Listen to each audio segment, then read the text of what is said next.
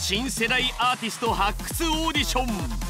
アイコン Z 男性部門は今回からいよいよグループバトルに突入。3次審査を勝ち上がったのは全部で20人。彼らに告げられた次なる審査。それは4つのグループによる勝ち残りバトル。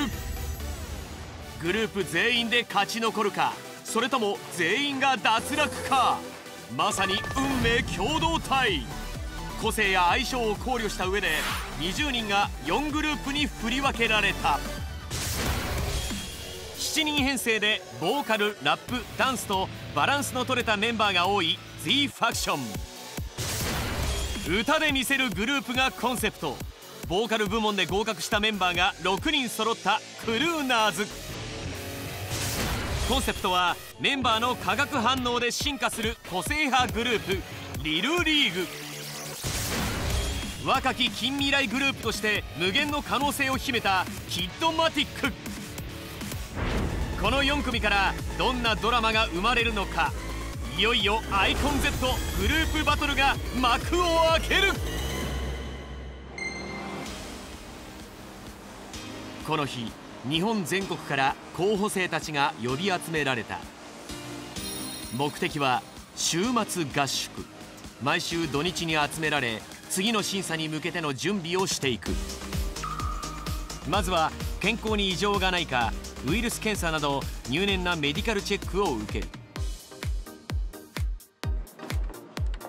これから一体何が始まるのかを彼らはまだ何も知らされていない。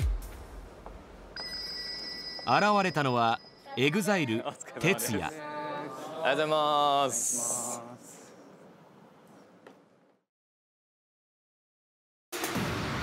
EXILE 哲也は子供向けダンス番組の講師や大学の客員教授。現在はエンタメに特化した学校の学長を務めるなど教育分野にも精通するメンバー。まあ皆さん相当自信もついてきてると思いますし僕らが話して何か背中を押せるようなことがあればいいなと思いますので今日はよろしくお願いします。はい。勝ち残った20人への特別講義。週末合宿ではグループバトル審査と並行し個々のレベルの底上げを図るべくさまざまなカリキュラムが。哲也が教えるのは夢に挑む覚悟。そしてアーティストとしての心構え、自分の夢を叶えるのは自分でしかない。例えば LDH が夢を叶えてくれるんですか？とか。まあいろんなことをこう勘違いしがちになってしまう時って結構あるんですよね。ただそうじゃなくて自分の夢を叶えるのはあくまで自分。その心をしっかり持っていればどれだけ辛いことがあっても誰のせいにもしないし自分の頑張りが足りるか足りないか。夢には絶対終わりがないです。だから皆さん今回のオーディションに受かろうが落ちようが何しようが夢には終わりがないってことが、えー覚えておいていただきたいなっていうふうに、えー思います。続いては EXILE 専属フィジカルトレーナー吉田照之によるフィジカル講義。あのアーティストってフィジカルかなり重要だなって僕要素的には思ってるんですけどでも同じようにアスリートとかスポーツ選手ってフィジカル重要じゃないですか。なんか違いありそうですよね。なんかあります？ちょっとぜひ皆さんから、そのアスリートたちは人によると思うんですけど自分のために戦ってる人とかもいると思うんですけどこのアーティストは誰かのためにっていうのを意識してるんじゃないかなと思います、うん、うんうん、いいですよ、いいですよ。はい。そのアスリートとスポーツ選手は具体的に結果が出るというか点数だったりそのタイムだったり結果が出るんですけどそのアーティストとかはお客さんたちの反応とかそういうのでしか結果がわからない。なるほど。なるほどね。いや答えは多分人それぞれだと思うんですけど、は初めて EXILE さんのライブを見に行った時にこれってアスリートよりも本当に実は厳しい状況でステージに立ってパフォーマンスしてるんだなって思う局面がありました。あの機械の選手がいないっていうところね EXILE の2軍とかないじゃないですか。あの哲也さんが怪我したら2軍の誰かが出てきてパフォーマンスするとかないですね 機会がいないってかなりあの厳しい状況で戦っていかなきゃいけないっていうような近くで見ているからこそ分かるフィジカルの大切ささらに肉体を鍛えることであることが劇的に変わるという。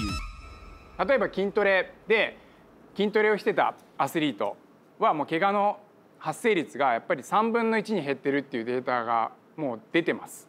トレーニングをやってない人とやってた人だと回復力は大きく違いが出てます。だからステージ穴開けないように、えー、全力を尽くすトレーニングっていうのがやっぱ大事なんだなっていうのを、まあ、本当に感じる。ただねなんでこんなトレーニングしなきゃいけないんですか？っていうなぜっていうのがもしかしたらこの合宿中に浮かぶかもしれない。ふと自分の心の悪魔みたいなのがささやく時があるかもしれない。ただとにかく全力でお客さんを喜ばす。もうこれがしっかりとしたゴールなんですけどでもそのための準備っていうのも全力。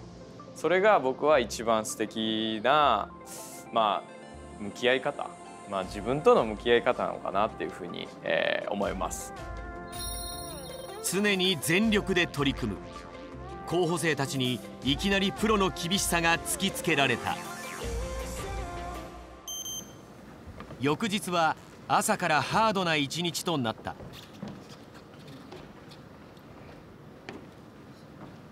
おはようございますえー、今日は一応ですねフィジカルテストと、えー、フィジカルトレーニングやっていきたいと思います。プロのアーティストを目指す上でフィジカルは欠かすことのできない能力。そこで候補生たちの現状を確認するべくフィジカルテストが行われた。離れない離れない。体格や年齢は違えどここにいる全員がライバル同士。それぞれが競争心を持ち切磋琢磨し合えるようテストの結果には順位がつけられる。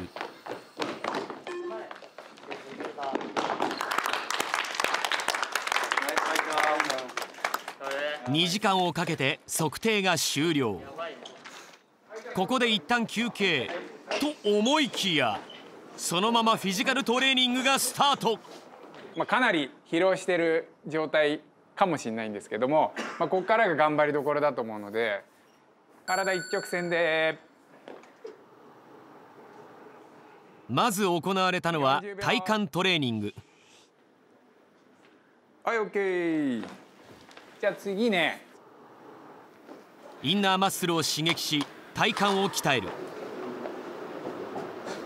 グーって止めて。はい。10回123456789はい OK はい反対。13ひねって1415足すれすれ1617はいトレーニング開始から1時間。ちょっと気持ち悪いあいいよいいよ全然全然。スタッフさんちょっと体調悪いんで一人。二次審査三次審査ともにボーカルのみでチャレンジしてきた靴野博人7石川浩太もまたここまでの審査をボーカルのみで突破してきた。ダンスもほぼ未経験。厳しいトレーニングについていけない。4頑張れ。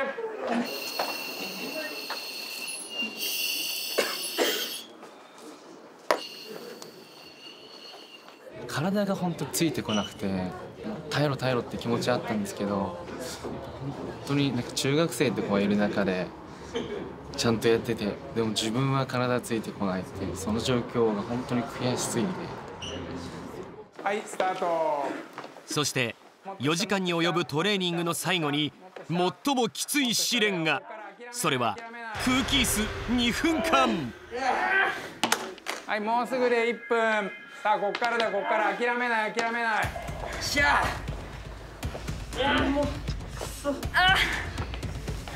背中後ろつけて背中後ろつけて頭も後ろつけろ。ほら頑張れ頑張れ。落ちてももう一回上がる上がる。頑張れよ。頑張れ。足。下下下下。もうちょいだ。残り20残り20日頃からダンスの激しいトレーニングを積んでいる候補生たちも三、二、一、オッケー、ナイス。頑張った、めっちゃ。するとここまで候補生の様子を静かに見つめていたアキラだったが あ全然座って座って実はこのメニューほとんどあの EXILE とかですとリハーサル前にやる内容なんですよこれ。あの皆さんがあの結構これでヒーヒー言ってたり頑張れ頑張れって言ってる内容って実は僕ら当たり前のようにリハーサル前にやってることで。だみんなって今見てると数をなんとかこなしてなんとか10回終わらすために頑張るみたいな。正直甘いなっていう部分であれはなんか思ってましたよね。LDH のメンバーたちは日々のトレーニングを決して欠かさない。4時間にも及ぶステージの運動量はフルマラソンに匹敵するとも言われているからだ。パフォーマンス以前の圧倒的なフィジカルの差。プロの厳しさを突きつけられた候補生たち。あきらさんからその甘いなっていう言葉を厳しい言葉をもらってでその時にやっぱこう体力がない自分のその悔しさだったりもありましたし自分の中ではこう課題がいどんどんどんどん見つかったので。めっちゃ白かった。ですだけどこれを当たり前にできるように頑張っていきたいです。そしてフィジカルテストの結果が。皆さんのフィジカル個人ランキングを発表したいと思います、身をもって知らされたアーティストに必要不可欠なフィジカルその順位はすなわち夢への距離とも言える他の候補生を抑え上位5人に入ったのは？第5位、佐藤重虎くんですね。はい。佐藤重虎くんはえ敏捷性は1位。数々のダンスコンテストで日本一に輝いてきた佐藤重虎が第5位レディーゴー。評価されたのはその俊敏な動きこの足さばきがキレのあるステップに生きているのだ課題はまあちょっと柔軟性。こう前からずっと体は硬くて ちょっとこう動きの幅も広がらないのでどうにかしなきゃってずっと思ってたんですけどちょっとこれからそこを鍛えていこうと思いますありがとうございました、はい。続いて第4位、岡尾琥珀くん。はい。はい。岡尾兄弟の兄琥珀が第4位持久力3位だ。持久力3位。持久力を見るシャトルラン形式のテストライバルが脱落していく中最後まで一人で走り切った岡尾マトラ君弟のマトラは3次審査の個人ランキングで9位にランクイン。この時兄琥珀はトップ10入りを逃した。しかし今回のフィジカルテストでは逆に琥珀が4位。マトラはトップ5を逃す結果となった。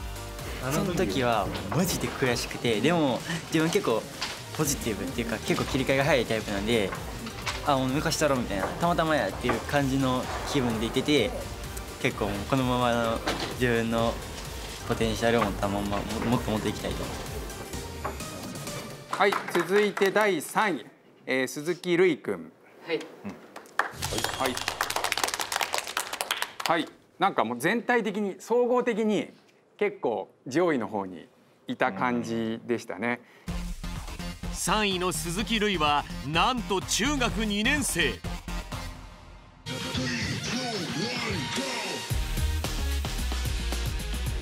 運動神経っていうものには元から自信が結構あってもっとダンスにも迫力のあるようにもっと筋力もつけていって今後に活かせるように頑張ろうと思いましたありがとうございましたはい。えー、いよいよ第2位。2位ですね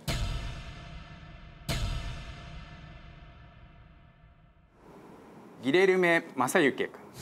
はいぱりパワーとか筋力系が非常に、まあ、強いかなというふうに思いました。6種目中3種目で1位の成績。彼の発達した筋力には理由があった。収録でお仕事してたんで。高校卒業後歌手を目指して働きながら練習を続けてきたというギレルメ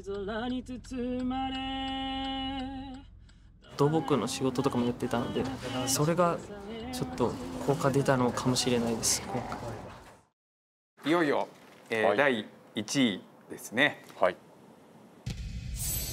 アーティストに必要な能力フィジカル。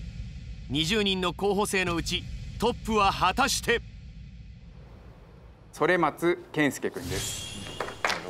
おめでとうございます。はいありがとうございました総合的に良かったです。それ松健介は三次審査の個人ランキングでも4位につけた実力者。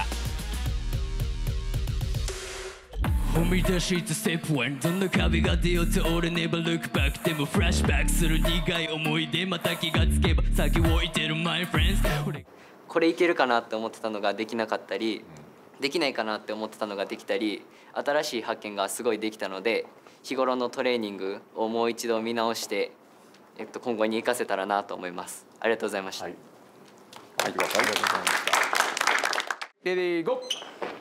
ステージパフォーマンスを評価されたそれ松がフィジカル面でも強さを見せつけた。フ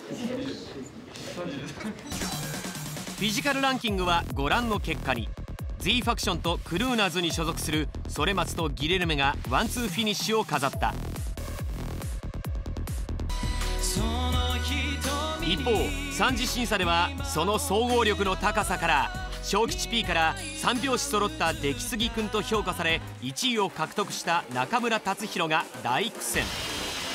パフォーマンス上位者もフィジカルとなると話は別。